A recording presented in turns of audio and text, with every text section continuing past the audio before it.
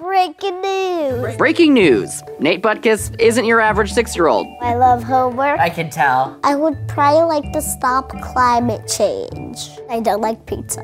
You don't like pizza. I don't like pizza. Are you really six years old? I am Like six 60 years old.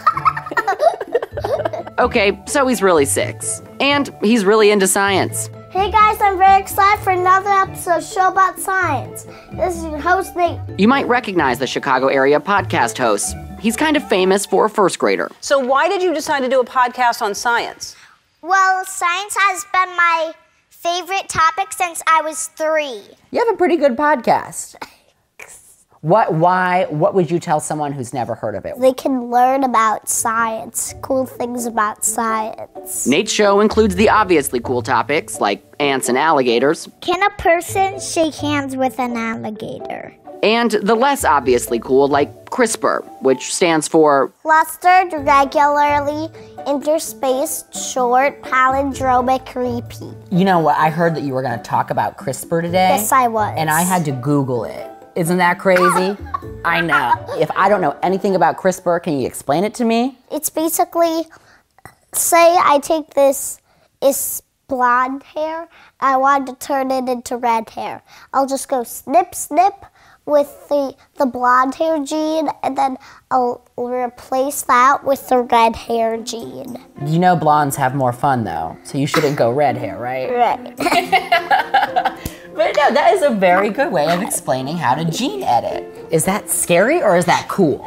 it's both at the same time. Why is it scary? Well, it's scary because like we'll all have the same gene, but it's cool because we can edit people the way we want to. Well, that also means like say if there's like something bad in your genes like cancer, you can edit that out. Exactly. Or if you have like hemophilia, you'll definitely want to use a gene drive to like make sure that none of your children will have hemophilia.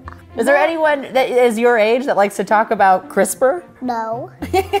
Why do you think that is? I I just have a passion for it. Like it's in my DNA. So you don't want to edit that part of your DNA? No, no, definitely not. I was just a warm up for this whiz after some lab work, They're still live. show and tell, Barack Obama gave me this one, and Hillary Clinton gave me this one. and unwinding with a relaxing book of Nate's choice, which was Stalin era Russian fiction. Kiss Klavu Klavu. Nate went on to chat about CRISPR with another probable genius named Kevin Esvelt from MIT. So, is there anything that we should be concerned of with CRISPR?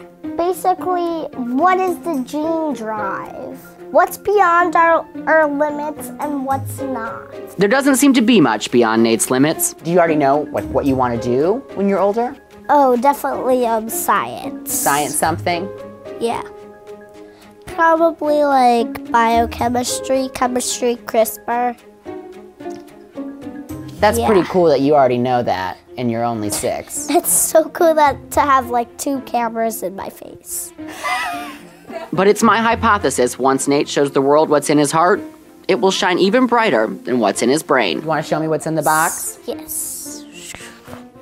Okay, so it's a very nice box. What's inside? Is this your box? Um yes. For it's basically my quote box. Your quote box? What's in it?